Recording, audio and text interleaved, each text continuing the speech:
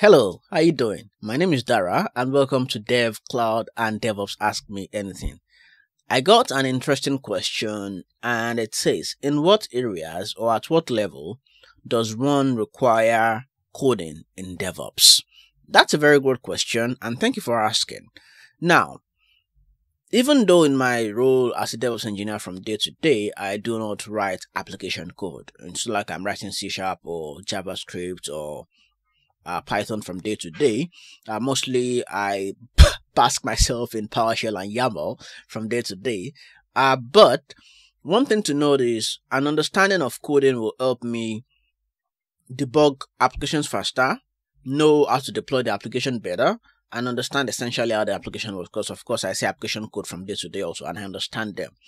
And it gives me a little bit of insight into what the developers are expecting the application to do when the application gets deployed to whatever infrastructure we're deploying such applications to. Now, even though I do not write code from day to day, sometimes I will need to write tools. I'll need to develop tools to manage my own systems or to make some other people's life easier. It will fall on the DevOps role in that organization. But of course, everything is dependent on the organizational process. So maybe uh, you come up with the spec and requirements and developers go write the code or you write the code and the developer peer reviews them for you. So where coding comes in, of course, you write a lot of scripts. So I'll probably say that is a form of coding because of course it's a form of programming language in its own way. Okay. So scripting is programming. It's coding essentially. So when you're writing scripts and developing scripts, you need to understand the coding process. Software development lifecycle is essential in that place. Uh, fundamentals of programming, if else's, loops, all those things are very essential in that way. But of course, you might not be required to write code from day to day. That is one thing in DevOps.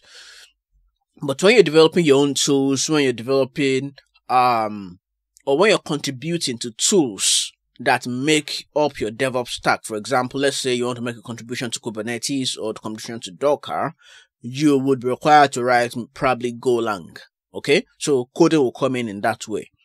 So that is one of the ways coding will come into DevOps. If you're writing tools, if you're developing the, the tools essentially. But of course, if you're not developing the tools, but you're just working on automating deployments and processes, coding would most likely not come in except, except you're using C Sharp or Java to automate deployment of application codes to the cloud okay which is also very possible okay because all these clouds have SDKs in the various programming languages for their platforms. But of course from day to day coding doesn't essentially come in but i write code sometimes probably just 2% of the time okay? Uh, when I'm writing automation tools for myself, either to make my own personal work better in my organization as part of a team, or helping developers debug code and application. And I know, yes, I can quickly fix this. So I fix this, of course, with the approval of the engineering lead, uh, put a fix, raise a PR, and then the process gets completed in that way. But of course, generally from day to day, I bask myself in PowerShell and YAML, which is a form of scripting also.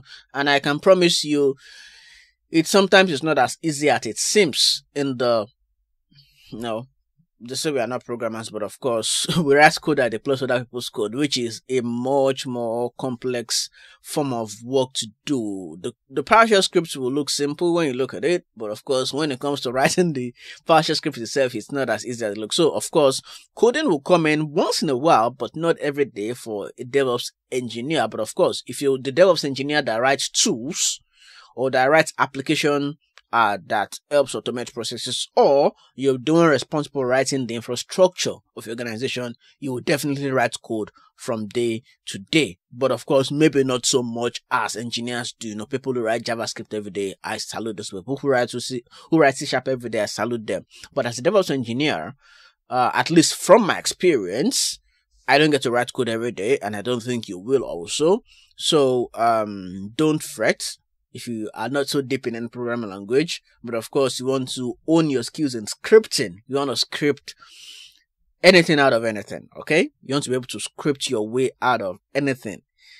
That is one thing I would re- highly recommend for you to do. And of course, please understand at least one programming language to a very good intermediate-ish level because it helps you in your thinking process. It helps you in your problem solving process and actually figuring things out. And I hope this has helped you. If it has, remember to give it a thumbs up. And of course, if you have further questions, please put it in the comment section. And of course, maybe also in the link uh, showing on your screen right now for uh, the forms I put out there where I collate the questions in a more uh, nice format. And of course, till I come your way again with another video on Dev, Cloud, and DevOps Ask Me Anything, you know what I say. Stay safe and goodbye.